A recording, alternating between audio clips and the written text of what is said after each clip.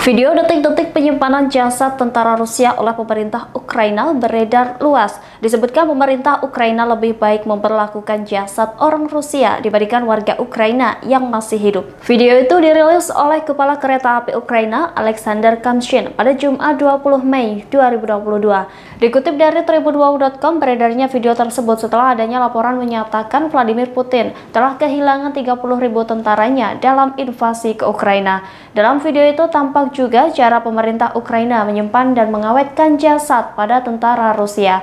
Kamshin juga menuliskan dalam video itu bahwa mereka lebih baik memperlakukan jasad Rusia dengan baik daripada warga Ukraina yang masih hidup. Pemerintah Ukraina menjelaskan berdasarkan hukum humaniter, jasad para tentara Rusia akan dikembalikan ke keluarga korban. Namun keterangan di dalam video itu juga tertulis bahwa pemerintah Rusia menutupi angka kematian pasukannya kepada masyarakat. Hal ini dilakukan untuk menghindari kepanikan dan kericuhan masyarakat mereka sendiri. Pada video itu juga tertuliskan bahwa kargo 200 telah siap untuk menghantar jasad ke Rusia. Diketahui kata kargo 200 merupakan kode militer era Uni Soviet yang merupakan korban perang.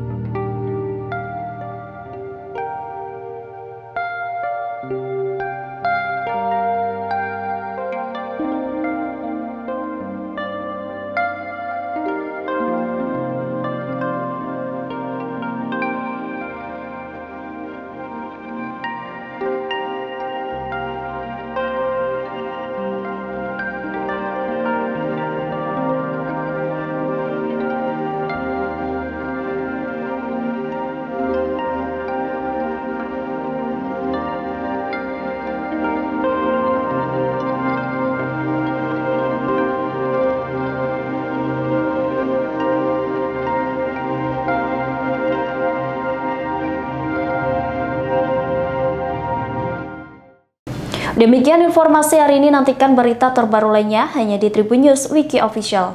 Terima kasih sudah nonton, jangan lupa like, subscribe, dan share ya!